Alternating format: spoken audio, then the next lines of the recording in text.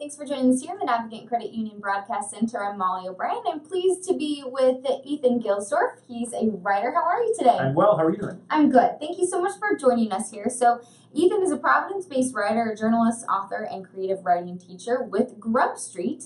You've been published in the New York Times, the Boston Globe, on USA Today, Esquire, CNN.com, Wired and a million other places, pretty much. A few, yeah, here and there.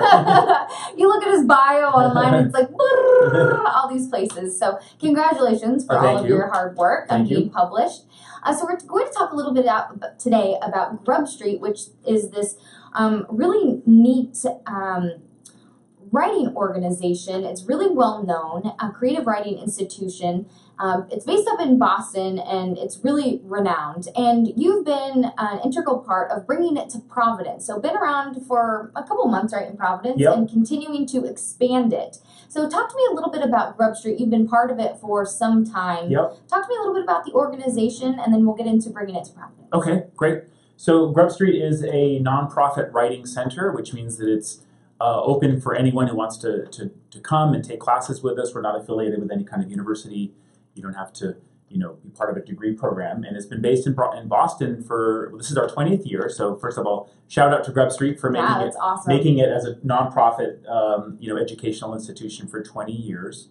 And you know, we've been offering uh, classes in poetry and writing your novel and writing your memoir uh, writing your screenplay for all these years. And um, I moved to, to Providence a couple years ago, and, and I thought maybe there's an opportunity to bring some of the amazing work that you know I've been lucky enough to be part of in Boston, bring it to Grub, bring Grub Street to Providence, um, and see if there's an audience for creative writing classes uh, here in Providence. So we've begun to to you know sort of a pilot program of offering some classes this past fall um, at uh, an organization called School One, which is a a local uh, private uh, college prep high school over on the east side, and uh, they've been kind enough to let us use their space in the evenings.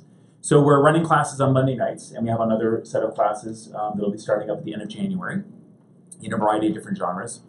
Um, and our message is basically uh, writing is creating community, writing is about inclusivity and allowing as many people out there who want to tell their story, whatever form that story takes form in, uh, to, to come to our, our classroom and we'll teach you the, the craft of writing and we'll provide support and instruction and community and make people feel like you know their stories their stories matter and, and, and not only that but we will help you make your stories better.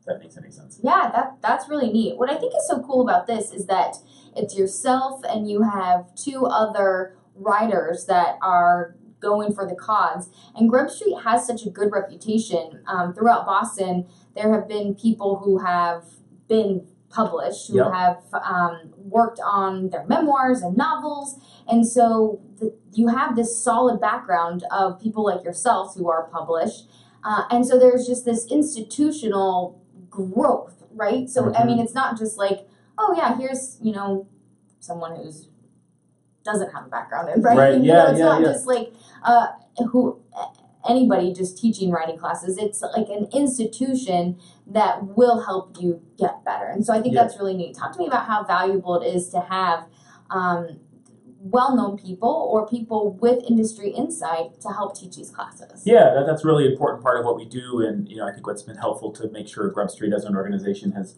has grown and remained relevant is that the people who teach writing are writers. We are practicing writers ourselves we've uh, written articles stories poems published novels published memoirs and uh, myself and the two other writers here in providence um, annie hartnett and uh, mark fogarty who are offering classes you know we this is how we make our living uh, as well as uh, writing work writing pieces we also um, you know teach classes and so we're really there to kind of help demystify the process. And it's not from an academic perspective. It's like a let's roll up our sleeves. Here's how a story works. Here's how a, no- how a novel works. Here's how we break down how a screenplay works. Um, here's how a poem works. Um, and and we, we kind of try to bring our insight and our um, you know kind of expertise and whatever kind of mojo we can we can kind of muster and, and show people that this is something that's important. And I think today people feel like we live in this increasingly divisive world, right? Where um, you know, not all voices are welcome at the table. People are angry. People are feeling a little bit distracted by all of their digital devices. And we're, we're basically saying what matters is let's get people in the room together. Let's write our stories. Let's pay attention to each other. Let's listen to each other. Um, and let's feel how I mean, the power of the written word, which is about building building empathy. You know, I, if I can listen to your story, and you can listen to my story. Um, you know, maybe we'll do some small uh, part in moving forward the, the notion that we all share some common humanity. I think that's super interesting too. Um, being able just to share that that written word with each other, and then learn how to make it actually good. Yeah. Being able to take because you know you can have all these really cool thoughts, but being able to take your thoughts and put it down on a paper or put it down onto your computer or however you choose Yep. to do so, being able to do that in a constructive way, I think uh, it's pretty neat to be able to do that. Um, can you talk to me about some of the classes you're offering for starting in January? Sure. Can you talk to me about um, some of the ones that you have? I have them here, but I'm going to let you share. Sure, sure. So we, we we're kind of trying to offer a, a, a variety of classes in a number of different genres and try to see what the folks here in Providence are interested in in, in taking. And so we have a class uh, called the Novel in Progress, uh, which will be these are all starting um, on January 29th. Um, and it's about folks who are working on a novel. A lot of people have worked on a novel in their in their spare time. It's sitting there in their desk drawer or on a virtual folder on their desktop, and they've been burning to kind of finish it. And you know, New Year's is a great time to like make your New Year's resolutions come true. So that's a great class if you have a project like a novel already in progress. We're going to provide weekly, um, you know, feedback and constructive support on that. We have another class uh, called World Building, which is for the people who might be working on science fiction or fantasy or uh, a screenplay where they really want to learn how to immerse their their characters and their story into the sort of real world. The classes I'm offering are in memoir and in personal essay. So if you have a true story about yourself that you're trying to, to work on, um, again, these are happening every every week. So over time, you get a chance to share your work, take a turn, uh, workshopping your piece, which is you know good to get that feedback. And for some people Oh, who yeah. haven't done that before, it's a little intimidating, but we're there to be supportive and to offer constructive criticism. It's not just like patting people on the back and saying good job. You know that's helpful too, but we want to say you know good job, but also let's let's try to make this this writing really shine. Let's make it as good as we can.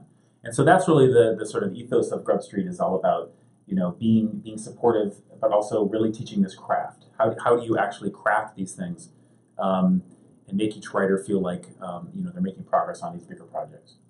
I think that's interesting. And so you offered a few classes this fall, That's right. Yeah. and was it just popular, so you decided to add more, or how did it go? And so Yeah. you Well, you know, took it to honestly, the next step. honestly, you know, people don't exactly know. There's a number of um, you know uh, writers out there who, who would like to work on their projects. There's a couple organizations here in Providence, and it would, I would be remiss not to shout out to them. Oh An yeah. organization called Frequency Writers, which has been here a long time, also offering creative writing classes, and a, another organization called Goat Hill, Goat Hill Writers, which offers workshops. So we don't want to you know nose in on their territory and be competitive, but basically hoping that we can all work together, you know, Yeah, as a writing community, community, supportive yeah. community. And, and because people who don't, uh, who may not be familiar with Grub Street, um, there are folks who have come to Grub Street from Providence or commuting into Boston to take classes. Yeah. And uh, we just thought, well, let's let's see if there's an audience out there. So we're building on that sort of word of mouth, and we did offer a bunch of classes this fall, some of which were well attended, some of which weren't so. But part of the, the process is just offering consistent programming and saying, hey, we're there on Monday nights at School One. Come out and, and, and, and, and you'll be part of that. You, you can go to the Grub Street website, uh, which is uh, grubstreet.org, and you know learn about the courses and register for them.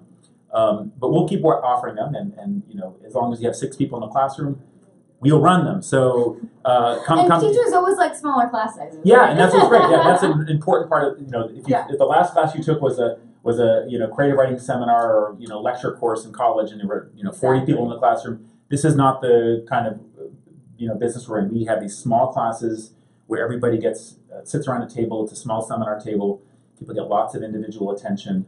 Um, and uh, you know you can't do a creative writing class in our view with more than like ten or twelve people in the room. It just doesn't work. I think that's Um, awesome. so- So I'm hoping that you'll come back and talk to us maybe about construct how to construct a story. Sure, yeah, I'd be happy to, to do that through here, through through your through this uh, Yeah. medium we've devised here by Yeah. uh, across the I think that'd be good. So- Maybe you can come back in January and, and then we can talk all about goals for New Year, like maybe how Yeah. like constructing your memoir or constructing like how to how to write your novel or something like that. We'd love to. We'd love That'd to. Yeah, yeah, that'd be great. Awesome. Well, Okay. thank you so much for joining us, Ethan. If you're interested, we'll provide a link um, to the Grub Street courses, and then I'll have a listing as well. So I think it's an awesome opportunity to be able to encourage people, no matter what their background is, and no matter what their story is, being encouraged people to tell their story, no matter what. So thank you so much for joining us Thanks today. for having me. I appreciate it.